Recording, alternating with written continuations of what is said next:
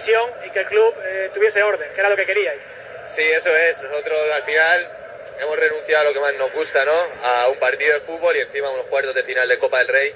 Es una pena, ¿no? Es una pena porque queríamos jugar, pero tampoco vamos a dejar que nos pisen nuestros nuestros derechos, ¿no? Porque se están riendo de nosotros, solo nos están poniendo piedras en el camino y esto es una pena.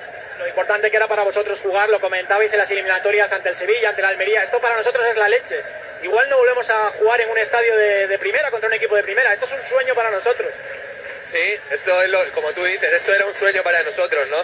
Eh, todavía ha salido muy bien hasta ahora, todo muy bonito, nos ha costado mucho, lo hemos disfrutado mucho y es una pena que termine así, ¿no? Lo teníais muy claro, Ángel Lavín ha venido al estadio, no ha aparecido por el palco. La verdad que la situación del club, eh, tanto con la primera plantilla, por impagos, como con las categorías inferiores, es insostenible. Habéis hecho lo correcto y todo el fútbol español os ha demostrado su apoyo. ¿no?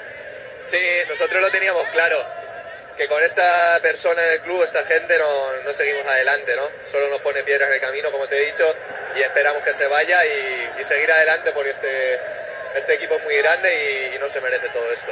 ¿Ahora qué? A esperar noticias de mañana de la Junta General de Accionistas y que se arregle todo. ¿no? Sí, eso esperamos, que mañana lleguen buenas noticias, que se vayan y a seguir para adelante todos, la afición, el equipo, porque somos uno y para adelante.